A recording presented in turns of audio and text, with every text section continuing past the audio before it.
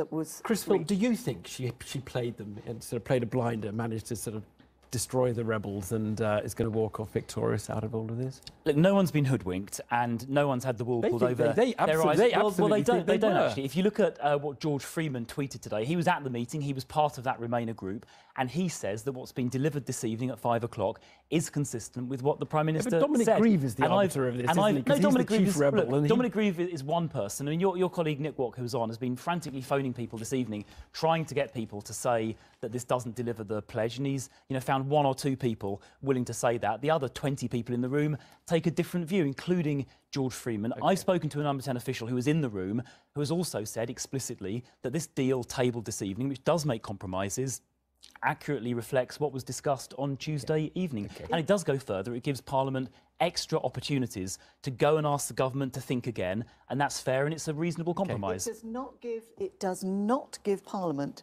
a meaningful vote, which is the aim of this amendment, on what would happen in a no deal scenario.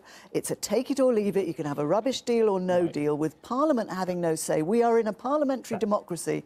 You cannot have the executive okay, so on, overriding Parliament. I've got to correct that If- isn't if- accurate. If that isn't accurate, correct it. What happens then? So if so, Parliament first of all can approve or not approve Right, any deal. right. Take if it or they do, leave if they do that, or if no deal can be reached Yeah, between the yeah. government and the EU, then the government are obliged to make a statement laying out an alternative plan. Yeah.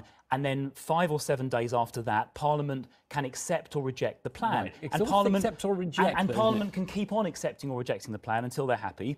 And then Ultimately, if- time out, and then and then we're not, out. not, not at all. Exactly, Look, with so no the, deal. Hang on a sec. The problem with the uh, proposal by Dominic Grieve on Tuesday, which I thought he'd moved away from, is that you can't give 650 MPs uh, the ability to control a negotiation. That's not what it 650 people cannot negotiate. That's not what it does. It gives it gives Parliament the opportunity to have some control over the process and the tra- trajectory of where we're heading.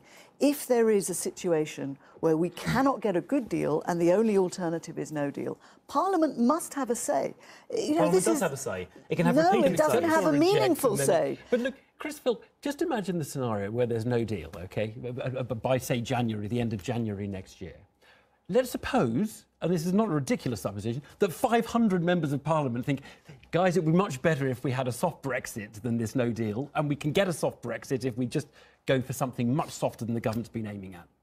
Parliament cannot impose that on the government, and we will crash out of the EU without entertaining the option supported by hundreds of MPs. Look, the, way, the way our constitution has worked for about 400 years is that the government negotiates um, these kind of treaties and these kind of deals, and Parliament approves them. And if Parliament doesn't like the way it's being conducted, they can remove the government. But Right. let's also So be that hang is- on, that on, is your on. op- that is your hang backstop. But let me, let we me be don't clear. want to We- remove the government. We'll be in a it's not a real- crisis it's not a real already. option, You know, th- at that point, we want to have thought about it in advance and say, if that scenario occurs, there is a process which puts Parliament in control.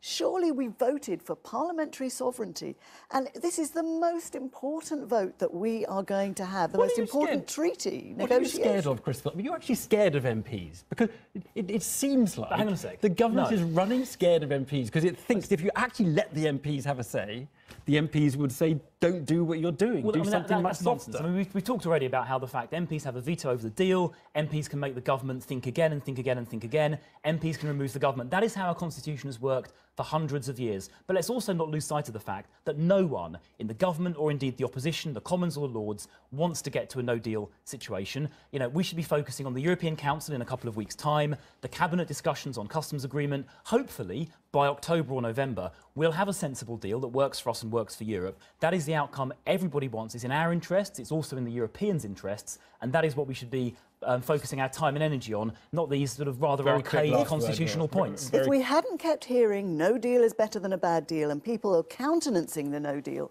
maybe that would be acceptable. But we are in the unusual position of having an absolute fixed time limit. In March 2019, this runs out. So But if Parliament we take- keeps Ros, going, Ros, if we take- crash out Ros, with no take- deal. If we take no deal off the table, we're over a barrel at the negotiating table, We need and to that's not acceptable. they Thank are you not stupid enough to, to, to fall for we, that. need to, we, we need to leave it. Thank you both very much indeed. you.